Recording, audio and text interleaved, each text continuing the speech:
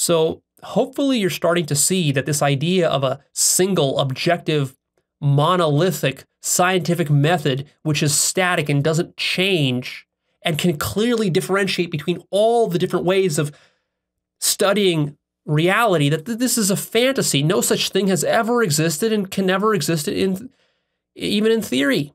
It doesn't work. It doesn't make sense all of these different ways of knowing nature come with a ton of assumptions, hidden assumptions, which themselves have never been tested and are not objective. And when you select one method over another method, realize that this is your own subjective mind relativistically deciding that, okay, well, this will be our method. That's not objective. There's nowhere in the universe that says that, like, well, microscopes are valid method, x-rays are valid method, radar is valid method, but witchcraft is not. And map making is not. And filmmaking is not. This is far too simplistic, obviously. It doesn't work that way. So, one of the mistakes of modern science is that it assumes there is an objective method and that such a method is possible, whereas in fact, in reality, method is completely relativistic. And what I'm saying here is worse than you even think. I'm not just saying that we haven't found the method yet, but one exists to be found in the future. What I'm saying is that there just isn't such a method in the entire universe because the universe is relativistic. All knowledge is relativistic.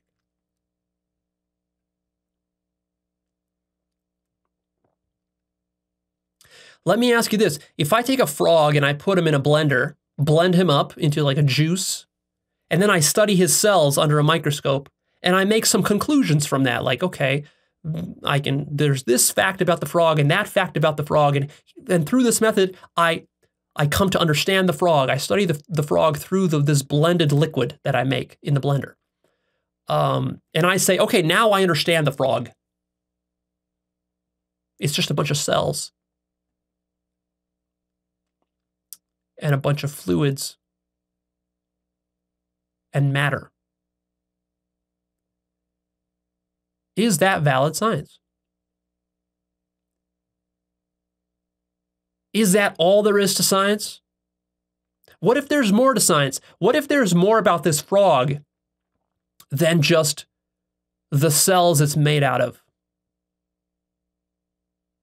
You see, to put a frog in a blender and to think that you can understand the frog by blending it up and studying its cells under a microscope. This comes with serious metaphysical and epistemic assumptions within the mind of the scientist. The scientist has to believe that this is a valid way of understanding what frogs are.